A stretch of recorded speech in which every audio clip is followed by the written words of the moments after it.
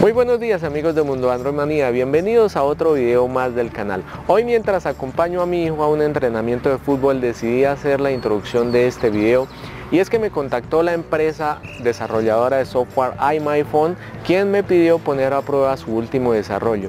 Y es una aplicación que simplemente está genialísima ya que nos va a poder permitir desbloquear casi cualquier teléfono Android esto es muy útil, por ejemplo, cuando se nos olvida el patrón de desbloqueo o el PIN o simplemente el lector de huella de nuestro teléfono no está reconociendo la huella, por lo que por ninguno de los tres métodos podemos ingresar al inicio. Bien, así es que vamos a hacer la prueba. Eh, creo que también el desarrollador me prometió que nos iba a regalar cuatro licencias para los suscriptores, así es que las voy a dejar en la descripción para pues obviamente los primeros que eh, visualicen el video serán los que tendrán acceso a la licencia o al código bien así es que si te interesa este video no te muevas del canal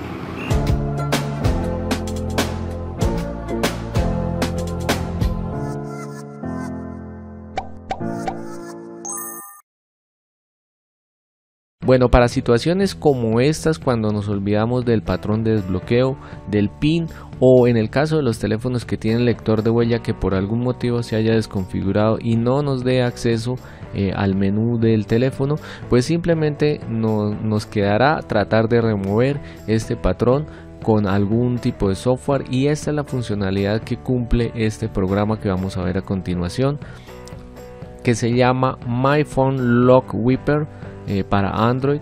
Entonces eh, simplemente entramos al link que hay acá. Hacemos la descarga del programa. En la descripción del video les dejaré el link y hacemos la instalación. Les advierto que el programa remueve el patrón de desbloqueo casi de cualquier teléfono pero también eliminará la información. Bien, vamos a ver más adelante cómo es la prueba. Aquí simplemente conectamos nuestro teléfono una vez instalamos el software.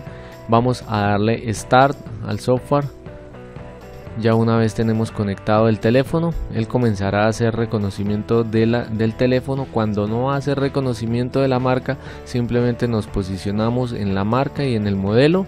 En este caso es un Moto G2, pero el que veo más próximo es el Moto G3 y vamos a hacer el intento. En el caso de Motorola creo que no hay ningún problema.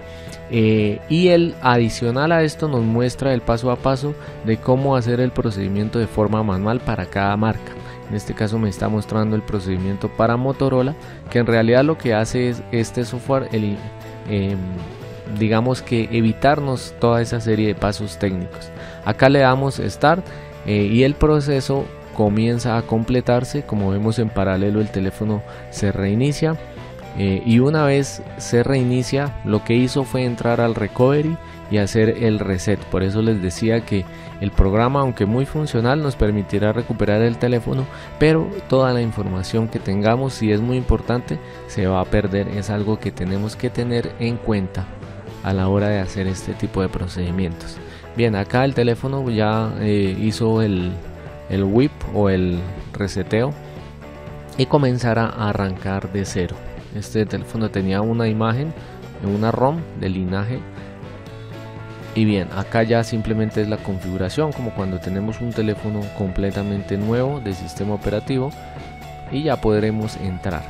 El teléfono quedará completamente limpio como vemos acá sin ningún tipo de aplicación diferentes a la que ya vienen en el sistema operativo bien aquí vamos a hacer la prueba y el teléfono pues obviamente ya no nos va a pedir patrón de desbloqueo.